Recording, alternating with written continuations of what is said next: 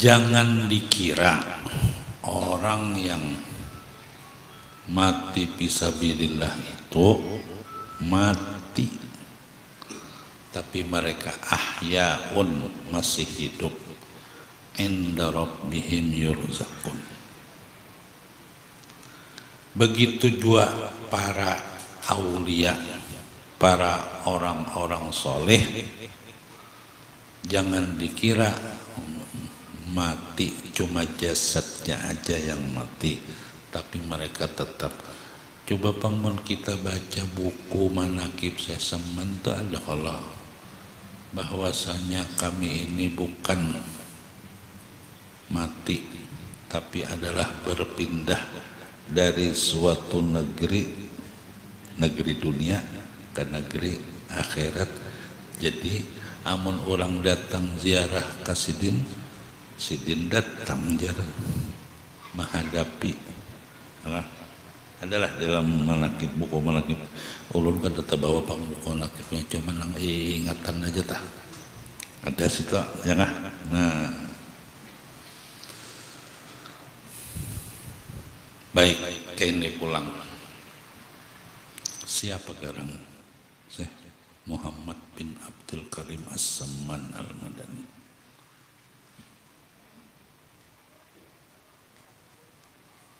mungkin tadi ada terbaca sama syairnya. Bilwani kutbil akwan al habibu kutbul akwan. Ujar kita tak wali kutub. Halang lola.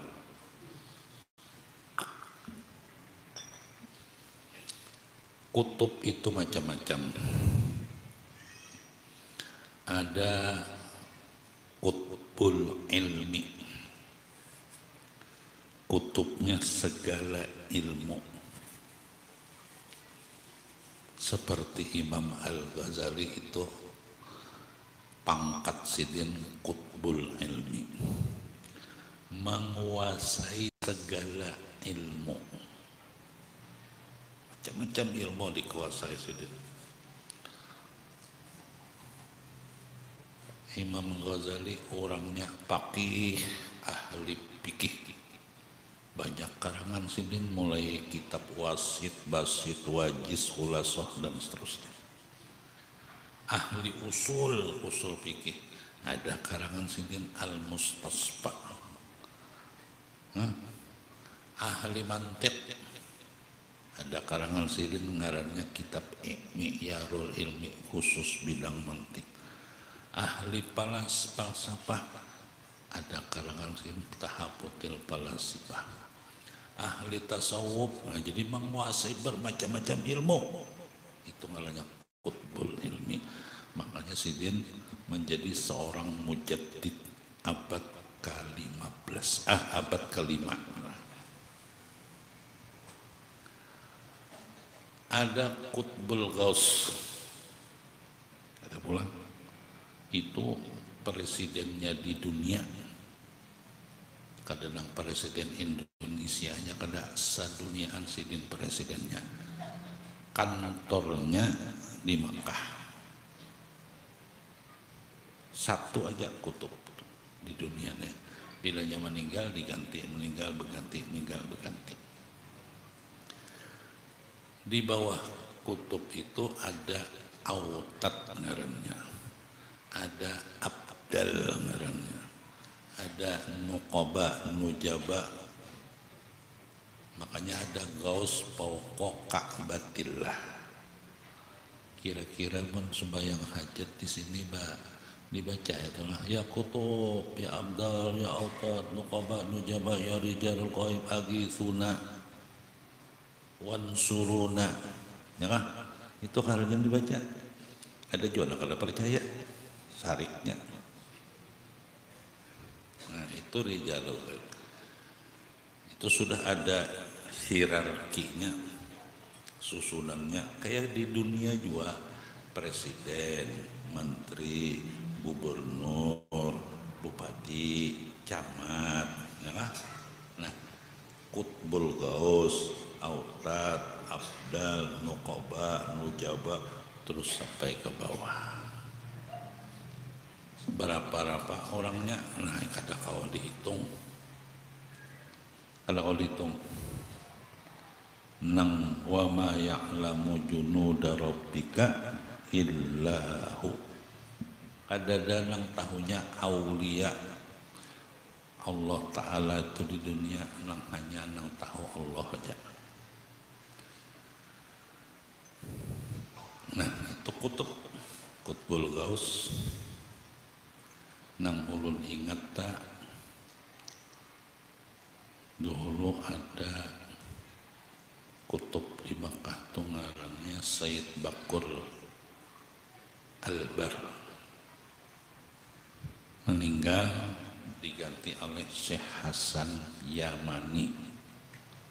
Meninggal diganti oleh Habib Hasan Padaak nah ulun bisa ke rumah majelis sidin Habib Hasan Padaak kemudian meninggal diganti Habib Abdul Qadir Arbar nah rancak Jawa itu hanyar meninggal pulang diganti Said Amin Kutbi tapi kada lawas. Paling setahun lama meninggal diganti Habib Abu Bakar Atos.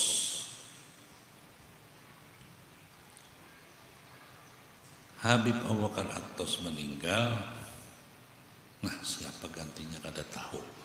Tahun 96 ulun hendak naik haji ujar kuitan ujar abah. Nak mana? Tuh kalanggar sembayang hajat. Ya dulu di sekopol tuh bilangnya seluruh jamaah haji Kabupaten Banjar hendak berangkat naik haji di langgar sekompol dulu si Tinang mengimaminya sembayang hajat. Waktu itu lo numpat nak tulak apa jadi pesan kuitan kena ribah tuntung sembahyang hajat takuni tuh paguruan ditakuni. Siapa gantinya? Habib Abu Bakar Atos nang gantinya Kutbul Gaustah dah hadir tuntung ulun berak.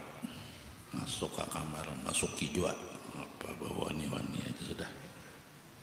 Bukan dari sariki kuitan boleh apa ada tahun nih. Nah daripada di pamayu orang baik bawa ni masuk batakon siapa ganti Abu Abu Bakar atas kutbul kaus nih. Ada dijawab kada dijawab kurang. Tunggu aja tunggu makanan bang? Hmm, nyaman lagi bah makan lawan sini ini pasti makanannya kalau makan istimewa. Pada di sini kan ini sudah hadangnya aja tuntung makan masih hendak mulik hanya menjawab pas bersalaman pertanyaan nikam tadi ujar sedih